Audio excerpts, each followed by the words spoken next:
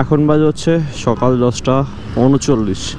আর গত ভিডিওতে আমরা কথা বলছিলাম জিএসএক্স এর five thousand kilo user review নিয়ে।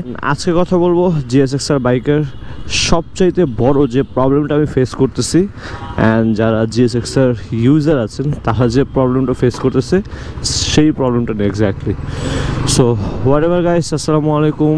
Welcome back once again with my brand new blog so আজকে হচ্ছে সোমবার আর এখন বাজে হচ্ছে সকাল দশটা চল্লিশ। অ্যান্ড শুরুতেই জ্যাম আজকে রোডের মধ্যে প্রচণ্ড পরিমাণ rush and traffic as well so whatever guys আজকে কথা বলব জিএসএক্সআর বাইকের সবচাইতে বড় যে প্রবলেম সেই প্রবলেমটা নিয়ে। আর যে প্রবলেমটা আমি পার্সোনালি ফেস করতেছি even G S X R প্রত্যেকটা ইউজার ফেস করতেছে। আর সেটা হচ্ছে জিএসএক্সআর বাইকের মাইলেজ ড্রপড লাইক এই বাইকের মাইলেজ অ্যাভারেজ যদি বলি সিটি ইভেন হাইওয়ে সো হাইওয়েতে গেলে আপনি অ্যাভারেজ মাইলেজ পাবেন হচ্ছে তিরিশ সিটিতে অ্যাভারেজ মাইলেজ পাবেন বত্রিশ। লাইক থার্টি টু অ্যান্ড হাইওয়েতে গেলে পাবেন হচ্ছে তিরিশ আই মিন থার্টি অ্যান্ড আমার অনেকে বলতে পারেন যে, ভাই, আপনি উল্টো কথা বলতেছেন কেন? লাইক সিটিতে যদি থার্টি টু হয়, তাহলে হাইওয়েতে হবে থার্টি ফাইভ ব্রো বাট এইটার একটা রিজন আছে। স্যার সেটা হচ্ছে সিটিতে দেখা গেছে বাইকের আরপিএম পাঁচ থেকে সর্বোচ্চ ছয় হাজার আরপিএম পর্যন্ত নেই। তখনই এক্স্যাক্টলি আমাদের মাইলেজ যায় থার্টি টু একদম ম্যাক্সিমাম গেলে থার্টি থ্রি অ্যান্ড হাইওয়েতে তো আরপিএম মেনটেন করা হয় না। লাইক আপনি পাঁচ থেকে ছয় হাজার আরপিএম বাইক চালাবেন না।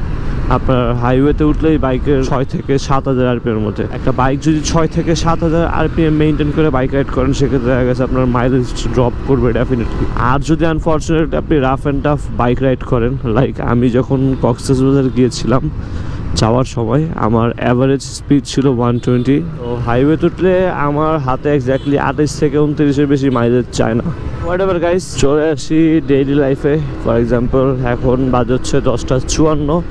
আসি হচ্ছে পান্তপথ যাব হচ্ছে বসুন্ধরা সিটিতে। ওইখানে একটা ব্লগ শ্যুট করব ফাইম ব্লগস ইউটিউব চ্যানেলের জন্য।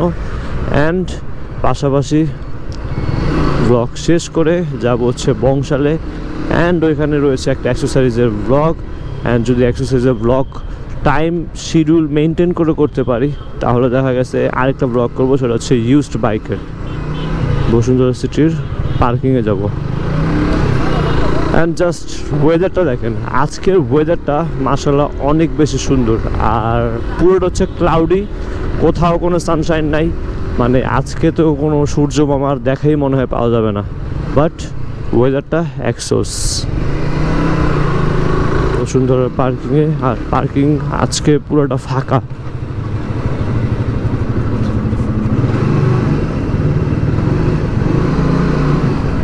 এখানে দাঁড়াতে হবে টোকেন দিবে বাইকের ডিজিটাল প্লেট স্ক্যান করে।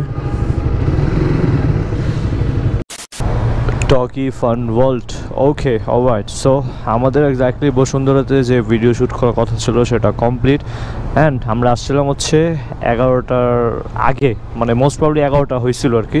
আর এখন বাজে বারোটা ষোলো, তার মানে আমরা প্রায় এক ঘণ্টা ষোলো মিনিট বসুন্ধরার মধ্যেই ছিলাম। আর এখন আমার বেরোইতে একটু রিস্কি মনে হচ্ছে, কারণ সবার হাতে আমরেলা কেন জানি মনে হচ্ছে বৃষ্টি। বাট আল্লাহ ভরসা, দেখা যাক। ফার্স্ট অফ অল বলেছিলাম যে আজকে ওয়েদারটা অনেক ক্লাউডি ছিল অ্যান্ড ভাবি নাই যে বৃষ্টি চলে আসবে বাট বৃষ্টি চলে আসছে। ওকে সো সিগন্যাল ছাড়ার পর এখন রাস্তা পুরো ফাঁকা, আর পড়তেছে হচ্ছে গুড়ি গুড়ি বৃষ্টি বাট বৃষ্টিতে একটা জিনিস অনেক সেন্সিটিভ থাকতে লাগে, আর সেটা হচ্ছে বাইকের টায়ার প্রচুর পরিমাণে স্কিড করে, আর নন এভিএস যে বাইকগুলো আছে সেই বাইকগুলো আরও বেশি সেন্সিটিভ থাকতে লাগে। সো আজকে রোডের মধ্যে এত পরিমাণ ট্রাফিক লাইক আমার তো মনে হচ্ছে বাইক রাইড না করে বাইকের সাইডে রেখে রিক্সা দিয়ে আমি আমার ডেস্টিনেশনে চলে যাই।